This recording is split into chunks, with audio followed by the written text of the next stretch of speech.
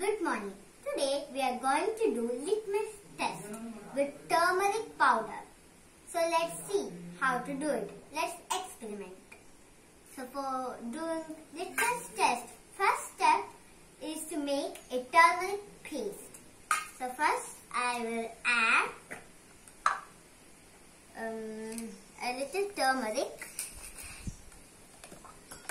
Then I'm gonna add a little water to make a paste out of it.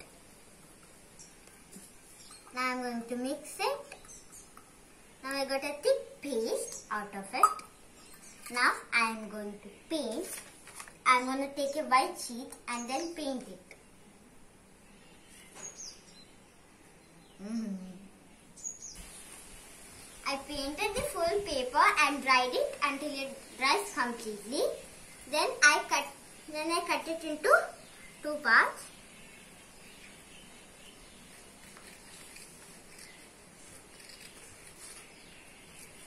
I kept one part aside and I took I made some soap solution with dress washing soap.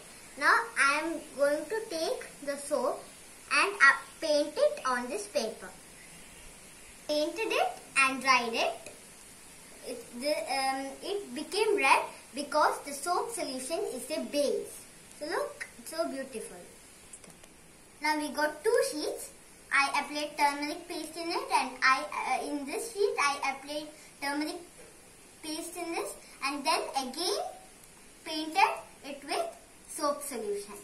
So now let's now let's see if our lit litmus paper work or not.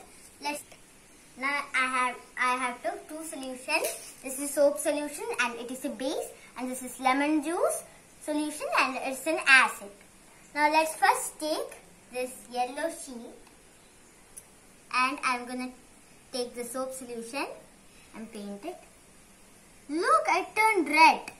So when you add a base into this yellow paper, it turns into red because it's a base. Now, let's now let's check lemon juice. Juice is an acid. Took some lemon juice. Look, it turned yellow because lemon juice is an acid.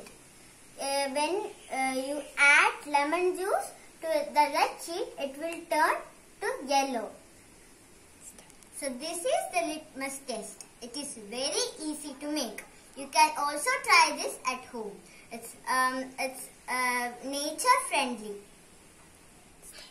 You uh, you can test uh, uh, this with various solution to see the solution is an acid or base. Thank you.